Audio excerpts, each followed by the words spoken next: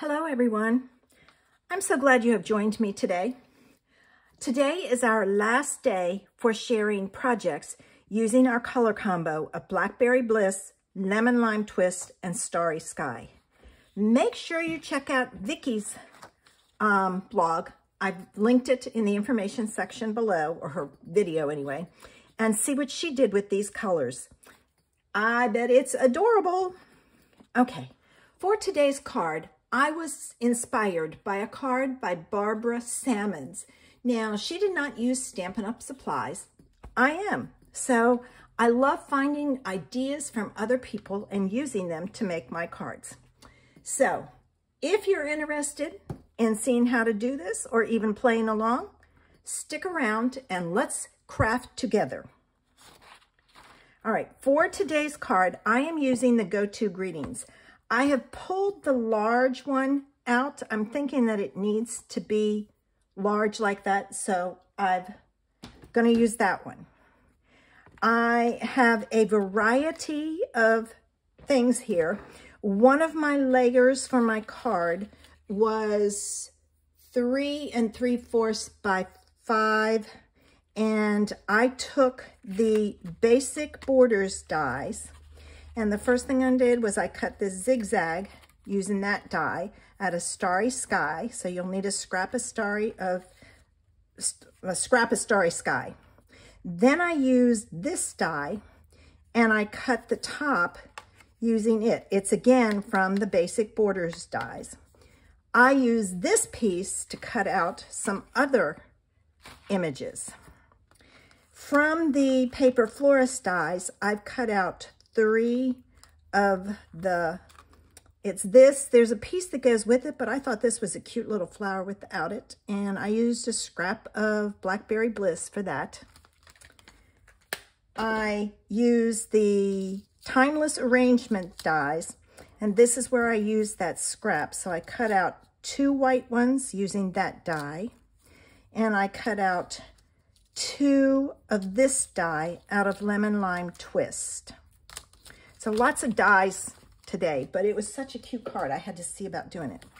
You will also need a piece of white that's four by five and a fourth, and your card base, which is white, five and a half by eight and a half, scored at four and a fourth. So we're gonna get started, and the first thing we're gonna do is we're going to fold and burnish our card base. And then this piece goes on there. And oh no, I have all my adhesive downstairs, so I've got to run get it. Hold on. All right, sorry about that. I have been doing a lot of crafting lately because I'm traveling and I wanted, well, darn, that's not good. I was trying to get this stuff off. Got it. Let's see if it leaks. I don't know.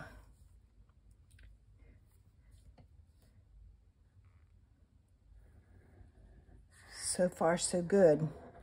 The whole silver tip came out, but it seems to be doing okay.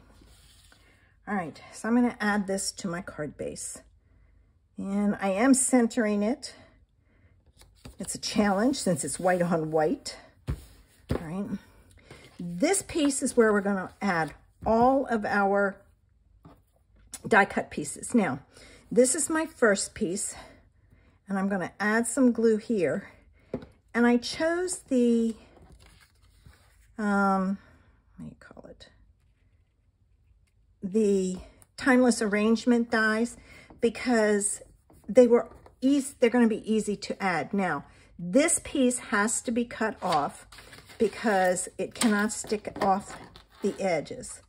So I'm just going to go in there with my scissors and snip it off. All right.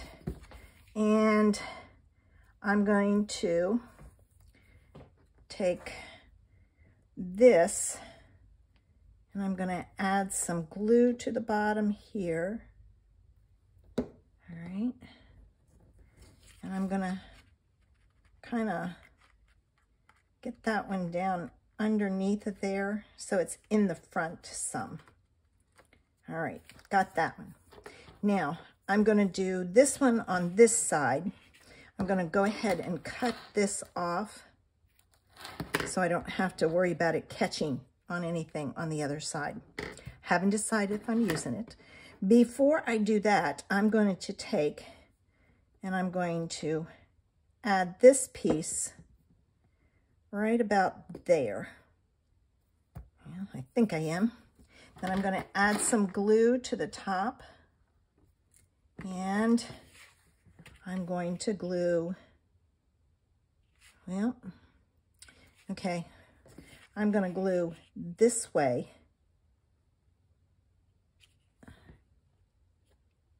Like so. Got to get it in there right. And I'll cut that off. I'm going to use my yucky scissors because I don't want that glue on my good scissors. There. All right, I'll get that later.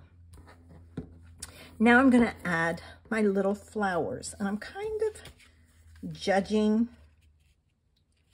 All right.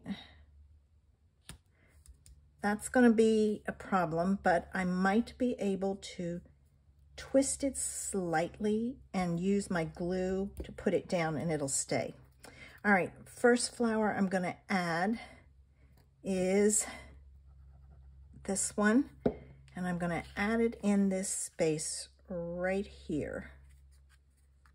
All right, like so. I'm gonna take this one and I'm gonna add it, I'm gonna go down through here and add it in there. All right, and then I need this one, and I think I'm gonna add this one like here. So I'm kind of intertwining them, which you can do, you just have to take your time. All right, there's that. I like that, but I need something here. Let's see. I think I'm going to add this one there. So I'm going to add a little bit of glue to the tip. And I'm going to stick it down. And I'm kind of, I'm kind of sticking it there we go. All right. Ooh, I like that. I'm going to now, I'm going to close this up. And I'm going to add this to my card base with some um, foam tape.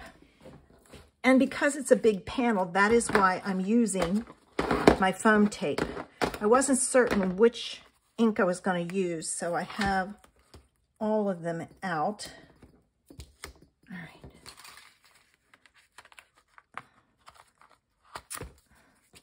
And the last time I used this, it was a challenge to get the backing off. So I'm going to put this down, get it off, and I'll just edit that part out. Um, it's just easier to use this than, and it's very sticky, than dimensionals because you would use a lot. And I really want it supported.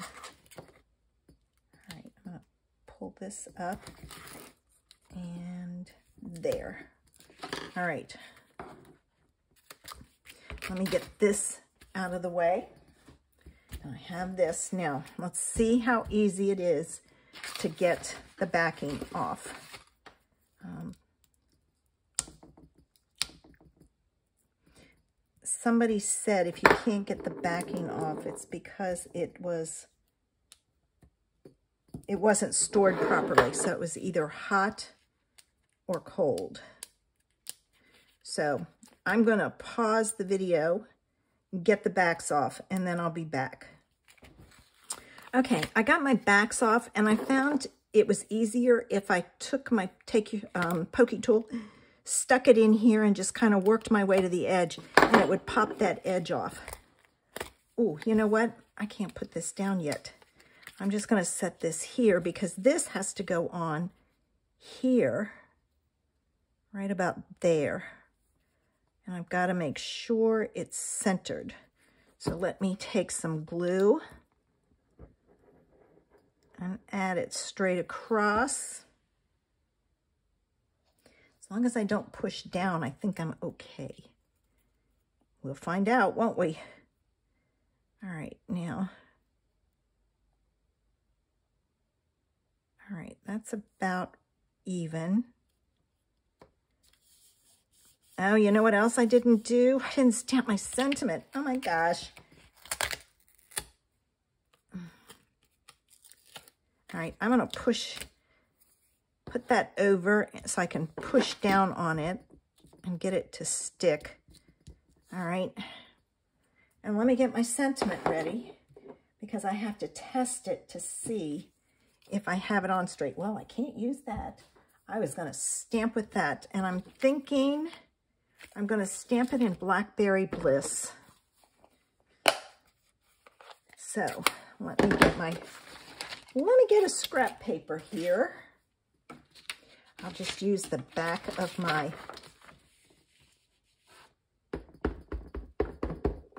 thing here and let's see if it's straight. Oh no.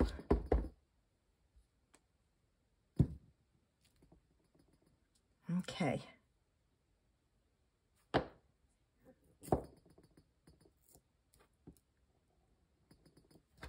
Let's see what that looks like. Got it. This is a tricky one. I struggle with this. Um, getting it on straight. All right, and I got ink down there, darn it. All right, straight down. Oh, all right, I'll show you how to fix that you need your Blackberry Bliss marker. All right. And you take your marker and you fill in and no one will know that it wasn't stamped correctly. And I have Blackberry Bliss on me because I'm getting it all over. Oh. I do not know how that's happening. Oh, I wonder if it was on here and I flipped it over. All right, let me cut off my zigzags here.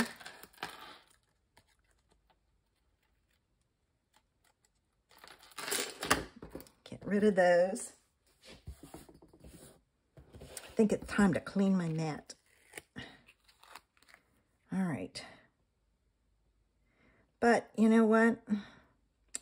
It's okay because what I can take and do is I can add some gems on there.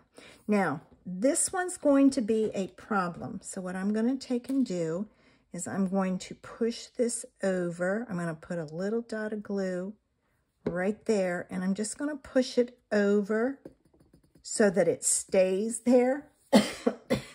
Excuse me. And then that way I don't have to worry about it getting caught as it goes inside the envelope. All right, despite the mess ups, there's today's idea. And I went looking in my stash and I found in my inked and tiled a flower stem that looks similar to that, so that's what I used. I hope I've inspired you to play around with your die cuts and have some fun with them. I appreciate your watching. I love sharing my ideas with you.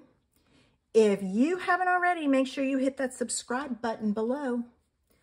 Have a great day. Bye.